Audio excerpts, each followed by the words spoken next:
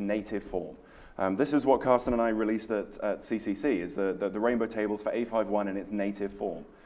Um, there are various cryptanalytical attacks against A51 as well um, that allow you to, to, to compensate with, uh, with various time memory trade-offs um, for, for various characteristics. Given that it's a 54-bit cipher, you don't really need to worry about it. Um, and you can, uh, the, the, rainbow tables that we released at CCC um, are for just straight A51. We're not doing any cryptanalysis of it. There's nothing special about it. It's just straight A51. A53 is, is the most secure of the GSM uh, ciphers. Um, there, there have been attacks disclosed against A53. Um, they're, they're not viable um, against 3G systems because they require too much known plain text. Uh, the attacks against A53 so far are related key attacks. Um, they just don't work with the 3G crypto scheme. The, the interesting thing about it, though, is that uh, A53 was based on another cipher uh, called Misty. Uh, A53 is called Kasumi. And the attacks against Kasumi don't work against Misty.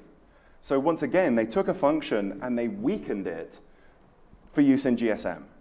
Uh, whether it was done deliberately or not, I don't know, but the, the end result is that there is a cryptanalytical result against Kasumi that does not apply to Misty. So it's, it's a weakening of that, that ciphering function. So we've got a few attacks on the crypto side as well. We've got no client challenge, so we've only got uh, uh, uh one random nonce in there, so we're vulnerable to replay attacks. We've got a 54-bit session key, which is just too small in, in the modern day and age. SIM cards are vulnerable to man-in-the-middle attacks. We can negotiate null crypto. In fact, we're actively encouraged to negotiate null crypto by the fact that your network operator will disable the warning alerting you that you're on null crypto. Um, hash functions, Comp128 version 1 has been badly broken and is still being used. There's all kinds of secret hash functions in use. There's all kinds of secret ciphering functions in use. All of this that I've, I've talked about so far is against basic GSM. There's all kinds of extra ciphers used in GPRS and Edge and 3G that have, again, never been disclosed, never been cryptanalyzed. There's a lot of secrecy still remaining in GSM. Out of the functions that have been disclosed, A51 is pretty broken. A52 is horrifically broken. A53 is academically broken. So what are you left with? Um, you've got a, a, a, the opportunity to, to replay these random nonces and, and crack the A52 key to, to, to, break forward secrecy. There's a lot of cryptographic attacks against GSM. Um, seriously? Is, is it this bad? Yes, it really is. Um, there is no, no security in GSM at all. It's, it's not secure. What have we not talked about here? Well, there's, if you think about it, I've just got a base station here, and I've, I've got my own network and, and my own kind of asterisk and voice over IP backhaul and, and all the rest of it. When you consider a legitimate cell network, um, there's, again, all kinds of infrastructure behind that cell tower. You've got the base station controller, you've got the master system controller, you've got the hardware location registry, all of these different components and, and many more they're all interconnected using a, a protocol known as SS7, Signaling System 7. Um, SS7 is actually just as broken as GSM. Um, it really is. It has some, some fabulously stupid flaws in it. So if you combine the two, and, and you combine kind of GSM hackery on the front end with SS7 hackery on the back end, you can have a lot of fun. Um, I'm not going to talk about it in too much detail. Um, I'm just going to pimp Nick and Don's talk. Um, this, is, this is their research um, on SS7 and GSM. Highly recommend it. They're doing some great stuff. Um, if you're going to Boston Source, I, I recommend going to the talk. That's all from me. Questions? Yes.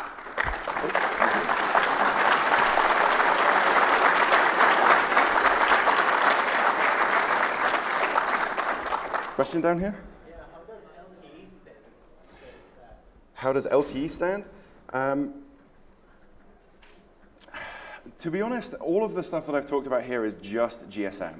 Um, 3G technologies, Um, 3G is, is a, a, significant overhaul of the, the GSM architecture. Um, it does add client challenges, it does add network to handset authentication. Um, there's, there's all kinds of stuff changed. 3G is, is much better. Um, even 2.5 and 2.75G, so GPRS and Edge, are much better than basic GSM. Um, basic GSM is horrific, and, and the later protocols have, have tried to improve it somewhat with, with varying degrees of success. Yes? Uh, I'm using a pair of RFX 900s with a 52 megahertz uh, external clock. Yes?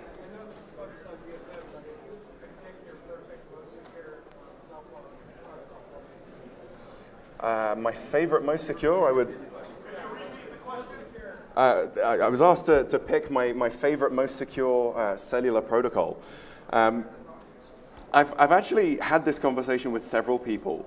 Um, I, I, know a few folks who are like, oh, CDMA is great because you can't talk it.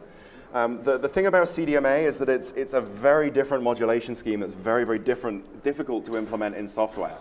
Um, so it's, it's more secure by being more obscure. Exactly. So uh, my own personal preference would probably be for a 3G technology. Um, they are, but they're, they're the best that's out there at the moment. It is. It is very sad. Yes.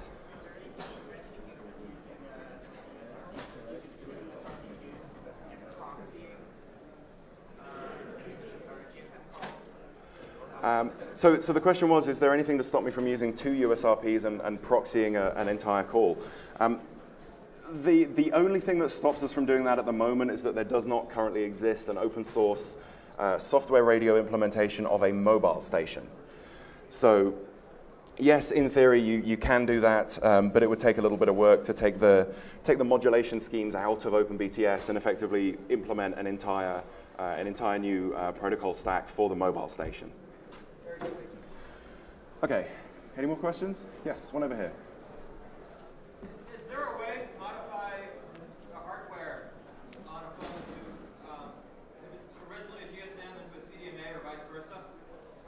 Uh, no. GSM and CDMA use, uh, use wildly different modulation schemes. Um, they're, they're completely in, incompatible. Um, there's, there's really very little overlap between the two. Um, you, you would really need a phone with, with two baseband chips. Uh, some Blackberries have, uh, have both GSM and CDMA functionality. Um, I've, I've not come across a software implementation that can switch between them. Yes, question?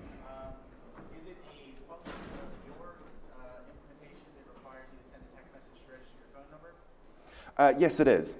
So, okay. So the question was, um, is it, a, is it a, a, function of my implementation that requires me to, to send that text message and, and engage in that dialogue to register?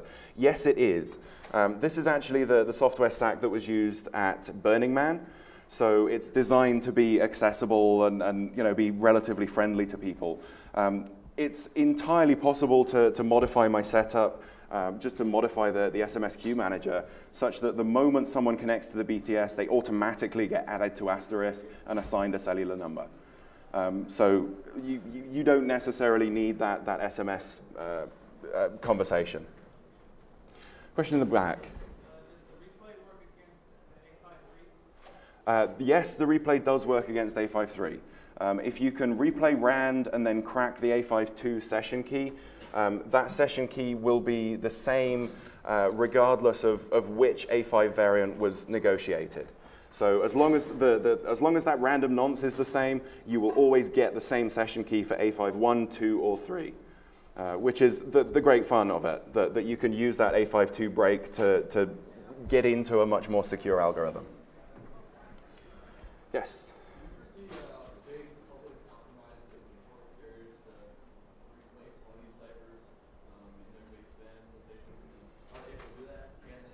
So, so the question was, do I, do I foresee some, some big public event that's going to force MNOs to, to wake up? Um, yes and no. Um, there, there's a lot of, uh, there's increasing interest in GSM security. Um, there's a lot of people starting to get into it. It's becoming a lot more accessible with, with stuff like USRP. Um, so there's a lot more people hacking on it.